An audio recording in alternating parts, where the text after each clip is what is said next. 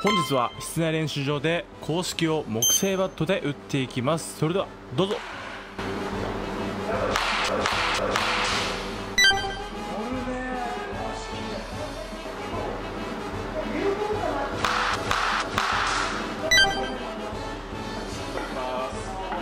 れあれだなトムズの竹バット。竹バット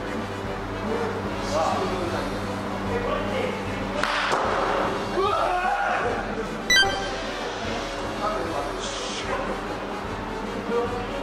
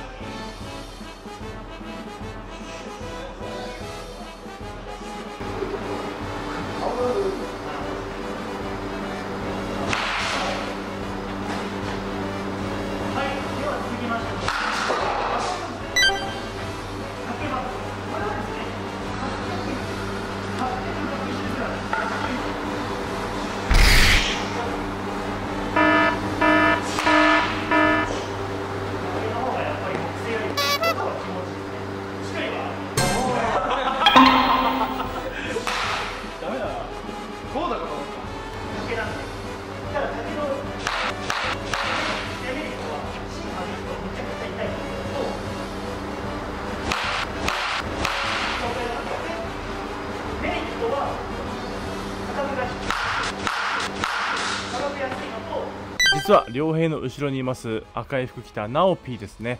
彼はね公式の野球チームに入ってるんですけどそれに今度ね翔平も行くことになりまして練習しております。後ろ小さく前大きく後ろ小さく前大きく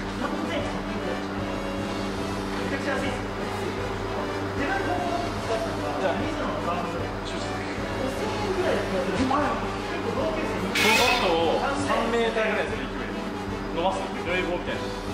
伸ばす。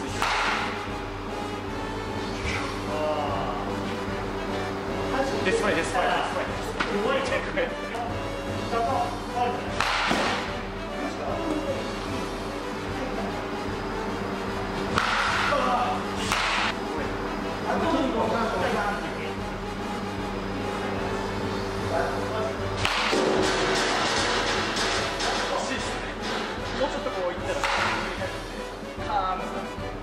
さあここでねゆうくん登場です。次ね高校1年生になるんでね公式の打ち方を教えつつこういう風にバット振るといいよっていうちょっとしたアドバイスを僕なりにさせていただきました。ボールがこう来るとこうやって入れる変だ。入れる来るとこにこのラインに入れるみたいながセット線とこうなんともいいけどバストしてるとまっすぐ線で言えばこんなアッパーの方になるさあまずはゆうくんの木星打ちをねご覧ください。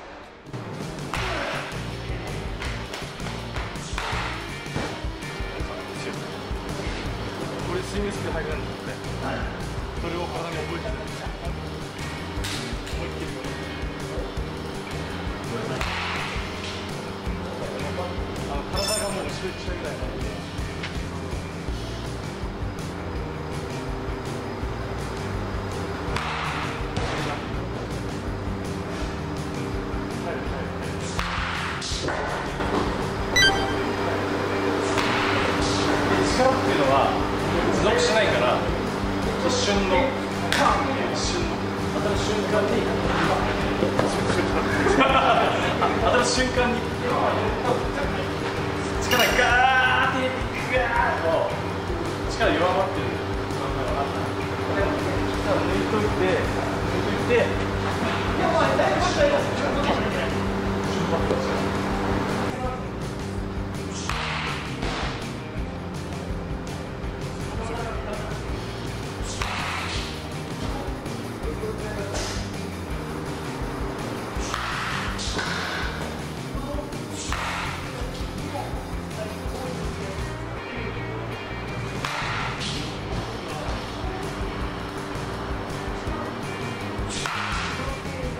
ここでまたアドバイスをしてるんですけども打つ時に軸足にねパワーを貯めて振った時にパワーを解放するようなイメージ。そして軸がぶれないように親指でしっかりと地面をつかむ。基本的なことをお伝えさせていただきました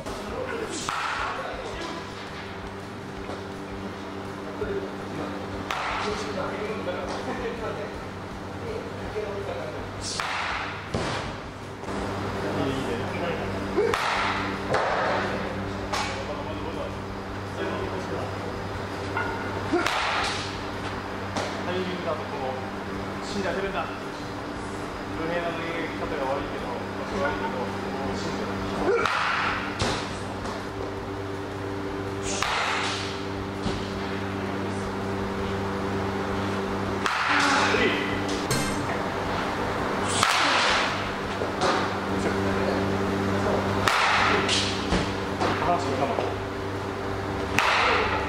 いいじゃない今の。ここで ASMR をやっていきます。翔平 TV というくんの打球音の違いをぜひとも聞いてください。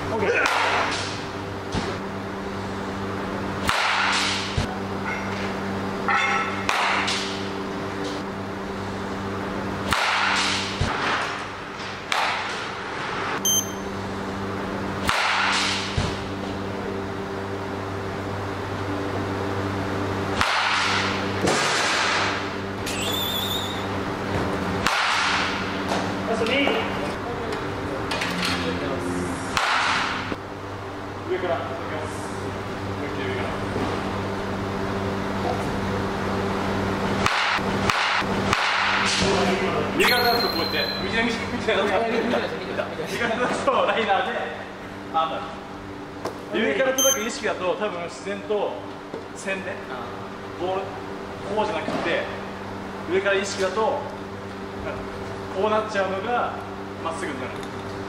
わけですよ意識で意識を上からって思う。で多分みんなそう上からってみんなこう打ってる人はあんまりない。上からっつってみんな対こう。抵抗になってる。お疲れ様でした。